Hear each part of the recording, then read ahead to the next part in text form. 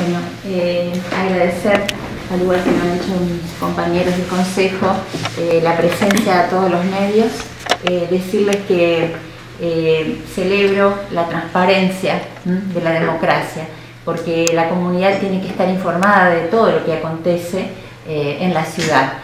Y lamento sí este, el motivo por el cual hoy estamos reunidos aquí. Em, yo no me voy a extender demasiado porque ya lo han hecho el resto de los concejales, pero sí decir que em, la respuesta a este mensaje que hemos recibido desde el Departamento Ejecutivo, mm, los argumentos que tienen eh, se han desviado, es decir, no, no, refieren concretamente a, nuestro, a, la resolución del Consejo, sino que se han inclinado como siempre, eh, como es costumbre de esta gestión y de la anterior, a tratar de denostar y ofender eh, a quienes somos concejales y pensamos en algunas cosas distinto.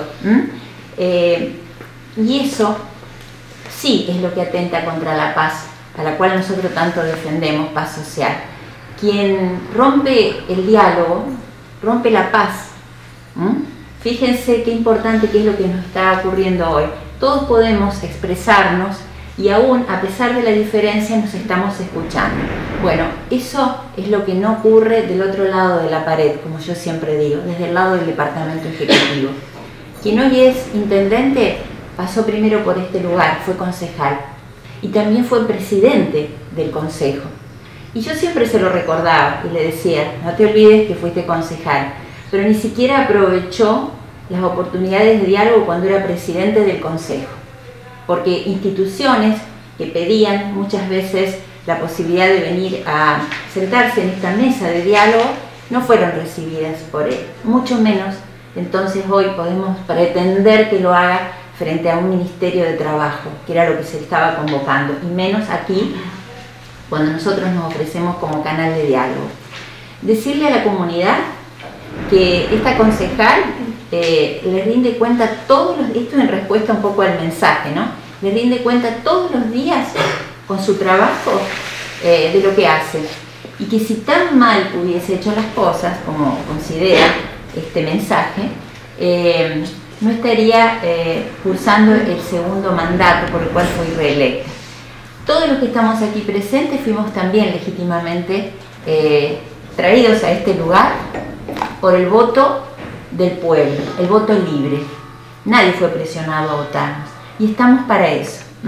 Y por eso vamos a recibir a todos los ciudadanos que se presenten en este consejo, sea con una propuesta, sea por algún problema o inquietud que tengan. Sean empleados municipales, sean personas que no tengan nada, ningún vínculo en cuanto a una relación laboral con el, municipio, sea quien fuere.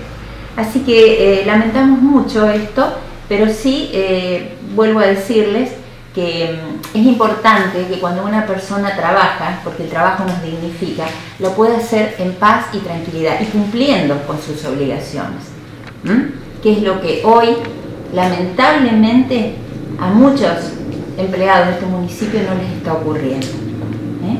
Así que bueno, desde ya agradecerles y recordar que el ejemplo de paz empieza por cada uno de nosotros. Se nos acusó en el mensaje número 8 de falaces manifestaciones, pretendiendo ocultar un interés personal en algún caso, y o político, partidario, y o económico, o simplemente revanchista y sin sentido más que la propia ignorancia. Si eso le, les parece una respuesta, solamente estábamos pidiendo la apertura de diálogo negado con el sindicato de Citram, un proyecto de resolución súper respetuoso, es sin intenciones de atacar ni nada, y los atacados fuimos nosotros. Yo cuando ingresé acá el 10 de diciembre, ingresé convencida de que éramos el nexo entre el pueblo y el Ejecutivo. Y cuando intentás hacerlo te responden de esta manera. Simplemente como para que tengan una dimensión de, de lo que está sucediendo. Nada más que eso.